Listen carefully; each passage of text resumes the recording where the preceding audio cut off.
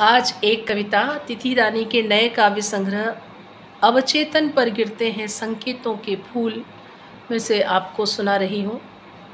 यह कविता उन्होंने ब्रिटेन की भूतपूर्व प्रधानमंत्री टरीसा मे के लिए लिखी है। कविता का शीर्षक है, मैं कांटों से लिपटकर फूलों का इस्तकबाल करती हूँ।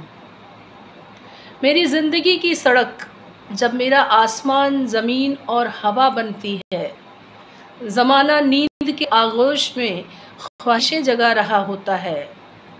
जब मैं कांटों से लिपटकर फूलों का इस्तकबाल करती हूँ, ज़माना नीम बेहोशी में मुस्कुरा रहा होता है।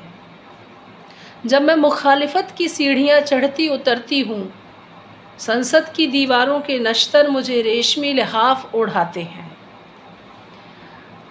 जब अबू कतादा की ख्याली मिसाइल मेरे ख्वाबों का ब्रिटेन ध्वस्त करके आवाम का भविष्य राख करने की ज़रूरत करती है।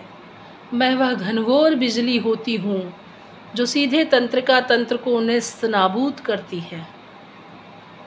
मैं एक कुशल कूटनीतिज्ञ कही जा सकती हूँ, जब मैं तलखी भरा हाथ रूस के प्रधान से मिलाती हूँ। मेरी पुतलियों की चांदनी पर, मेरी पुतलियों की चांदनी पर जब ब्रेक्सिट की काई जमती है, अपनी दृष्टि की हरियाली बचाने मैं अपनी जड़ें छोड़ देती हूँ।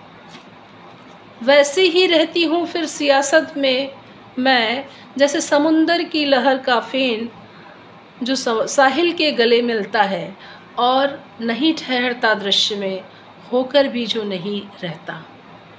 जैसे होठ से देखे जाने के लिए आँखों की कोरों का पर टिका पानी जैसे कर, कराहती ईंटों की दीवार में छिपी लोहे की सख्त दीवार।